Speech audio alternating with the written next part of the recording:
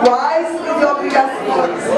E aí, vereador, gostaria inclusive que a vereadora Elisa Cristina estivesse aqui. Mesmo que ela, no painel, está na casa. Porque eu não gosto, assim como ela, de fazer pausa, de chegar.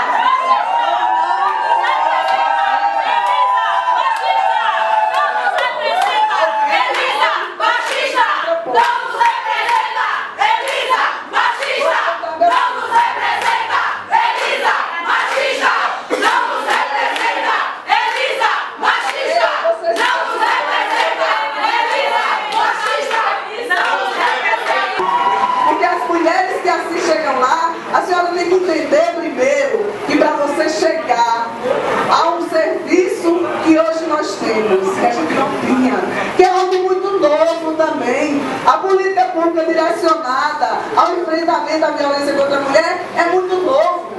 As mulheres têm que quebrar com um laço afetivo muito forte. Elas chegam nesse centro fragilizada e com sua autoestima muito baixa. E vereadoras, dentro do acolhimento feito por psicólogos, assistentes sociais, juristas, essas mulheres, elas têm a capacidade de tomar sua decisão. Se for se separar dos maridos, que se separem. Porque eu mulher longe de agressor. Eu não desejo mulher vivendo com agressor. Que, que batalhou anos e anos para que elas fossem criadas pelos governos federais, municipais e estadual. Por isso, nós mulheres lésbicas, bissexuais, transexuais, heterossexuais, que integramos o movimento feminista da Paraíba, vimos requerer uma audiência pública na Câmara de Vereadoras para que possamos com a vereadora Elisa e com os e as demais parlamentares essas questões que nos são caras e fundamentais para a promoção da dignidade e da liberdade feminista. feminina. E como eu não tenho tempo de prestar conta.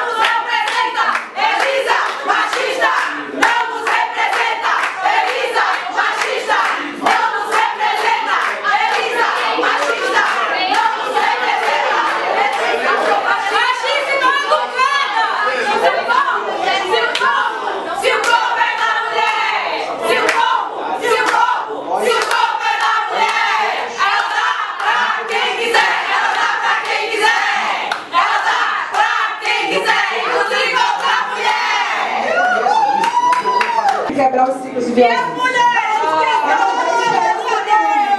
Vereadora, a- As mulheres também. vereadora, a senhora, a senhora está entendendo errado. Nós acreditamos na ressocialização do agressor, mas não em detrimento da mulher. Resolve essa- Você sabe o que é marcha das vadias, por acaso? Com esse golpe. E o que é que resolve? A população do Brasil ano é Facebook, Facebook, ó. Marcha das vadias, pesquisa. Vai estudar Isso mesmo. Está errado. Eu sou vadia. Eu sou vadia. Eu sou vadia. Eu sou vadia. Eu sou vadia. Eu sou vadia. Eu sou É vadia. um movimento de feministas, então por isso que eu me surpreendi com a nossa turma. Vereadora, que projeto a nossa mesa apresenta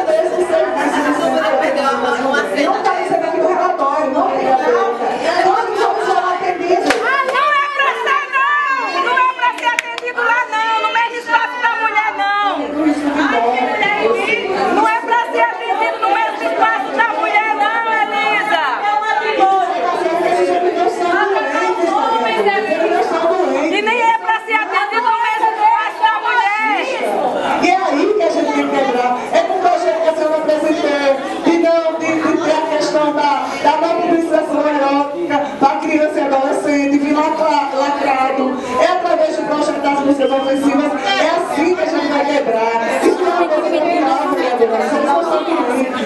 Eles são agressores, porque eles se sentem direito. Eu quero que eles não se senhora. Já é o a senhora está querendo pegar uma lei que é federal, que eu não foi ainda.